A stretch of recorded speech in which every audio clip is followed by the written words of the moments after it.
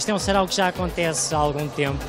Um, a forma de, de, o organizar é sempre feito através dos alunos e pelos alunos, ou seja, um, isto quase que nasce de geração espontânea e são eles que se organizam para fazer este sarau. Portanto, isto é um sarau deles, o qual nós nos limitamos a orientar. Tem, uh, basicamente, está vocacionado mais para a ginástica, para a dança e para as atividades rítmicas expressivas. Uh, se bem que nós damos liberdade a todos os alunos de fazerem aquilo que eles quiserem. Portanto, dentro dos parâmetros e dos padrões que nós definirmos, uh, eles fazem aquilo que está na imaginação deles.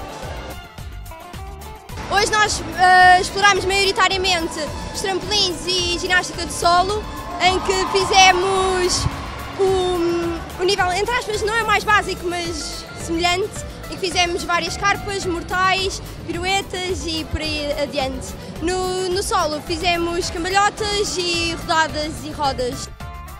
Uh, nós sempre fomos um grupo bastante unido, foram pessoas deixando o grupo, outras juntaram-se uh, e nós tentamos realmente tentar aproveitar o melhor de cada um para fazermos o melhor esquema que nós conseguimos, que foi o que nós apresentámos agora.